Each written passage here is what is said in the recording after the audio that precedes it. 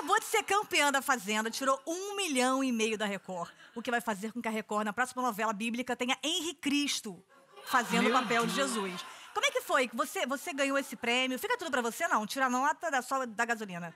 Fica tudo, não? Não, ele ti- tira Imposto, imposto, né? Que já vem descontado. dízimo, E aí, é, tem um, tem um pesa- pedacinho. sobra 50 centavos e... É. Só sobra o elástico, mas deu tudo certo. O que, que você comprou de mais maneiro de mais inútil quando você ganhou esse dinheiro? Não comprei nada, porque rico eu já tava, então Ah, só porra. fiquei mais. Ah, querida. Botei pra render. Jogou, fez assim. É, porque eu, viro, eu, eu vivo dos meus juros, né? Eu adoro quando as pessoas falam assim, é dona de um hit. Eu falei, foi um hit que mudou minha vida, mudou a vida da minha família, me deixou rica, É. que eu botei no banco e me rende até hoje. Eu vivo dos meus juros. Amor. Falei, eu quero que as pessoas achem uma menina de 24 anos, É. com a responsabilidade que eu tenho, que eu cuido de família, ajudo o funcionário, é um monte de coisa. Ajudo as pessoas. Então as É. pessoas falam, mas não conhecem o nosso íntimo, né? Pô, é maior orgulho falar que tá rica. Eu tô rica, eu fui no banco tirar extrato, comprei o banco, porque não tinha. Não tinha como já tirar esse dinheiro. Agora, a sua passagem na Fazenda foi marcada por autenticidade. É. E da Kerline, nem foi passagem. A pergunta que eu quero te fazer é, o que, que você fez pra ganhar Pra a mim, Fazenda? lá dentro eu achava que eu tava cancelada aqui fora. É eu mesmo? sou chata pra caralho. Não, não é não. Você é autêntica. Sou.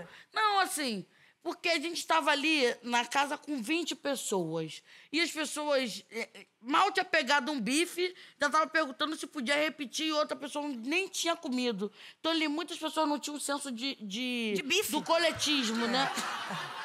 Falavam que eu tinha que falar na cara porque eu não mando o recado, né? Porque eu acho que o que você tem que. É! Que o que eu. você tem que falar. Amanda, puta! Caramba, não sei que é Amanda.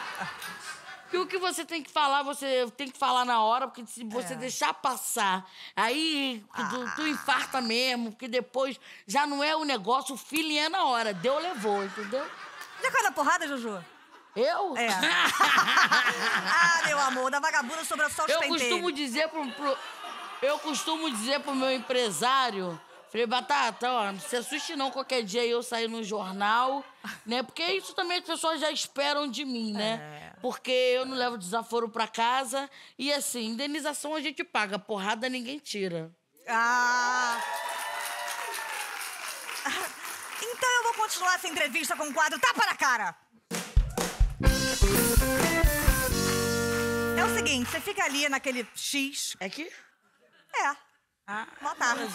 E é o seguinte, a gente vai Gente, continuar achei essa alguém do meu tamanho, né, gata? Juju, eu achei que você tinha 1,90m, juro. Meu, mas o que Deus não me deu de altura, deu de afrontamento. Como é que pode? É, então é o seguinte, vai continuar essa entrevista agora, forjando uma briga à distância, obviamente, devido a meu cu tá na mão. E aí, Né, que é... vai continuando a partir daí, tá? Isso aí.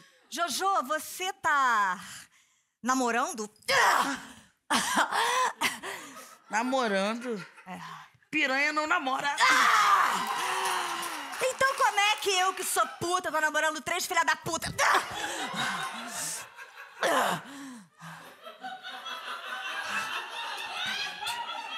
Querida, é porque você quer amor e eu fecho o negócio.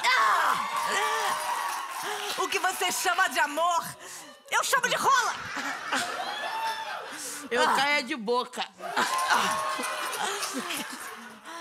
E você, por acaso, já brigou com alguém por causa de homem? Graças a Deus não, porque homem é pra gente sentar, não brigar. E já que você senta nos outros, posso sentar na tua cara? Pode! Ai, Ai, porra, fiquei sem som, sem imagem. maravilhosa!